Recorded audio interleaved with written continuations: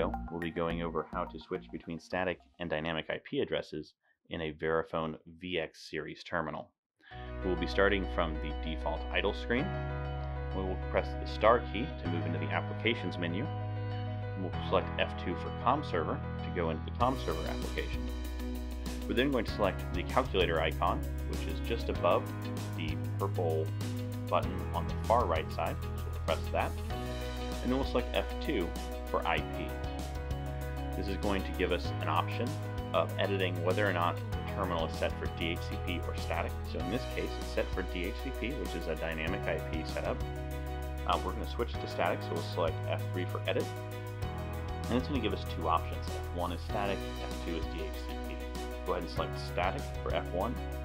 And now we've got more menu options on the screen. So it says IP setting static. We'll hit next. And it'll give us the option to enter the IP address. This one is all zeroed out, so we'll go ahead and edit this. Use the back arrow to clear out what's here. And then type in your IP address that you need the terminal to be set up on. In this case, I'm going to go with 192. And then we need to do a dot. So we'll press the 1 and then the alpha key one time. And then we'll go to 168, and 1 alpha for dot, 0, 1 alpha for dot,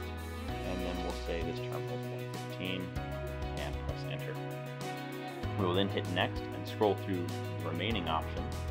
So you will need to set your subnet mask. So in this case, it will be 255 dot 255 dot 255 dot 0. And you will hit next again. And you will update your gateway IP information.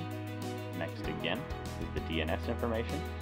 Next again will be the second DNS, the secondary DNS information. And now we're through the end of the list. So we can go ahead and select exit once you have all those added. And you will hit yes to save changes. It'll say connection repaired successfully. You will press a key and it takes us back to the Ethernet config screen. You hit the red X once to take you back to the VCS Ethernet screen, star to move back to the applications menu, and then you can select your specific payment application. In this case, it's SoftPay FDMS. Yours may be labeled something different, like credit debit. You'll select that option. It'll take you back into your payment screen, where you can try to run a test transaction to make sure that, that settings, those settings are working for you.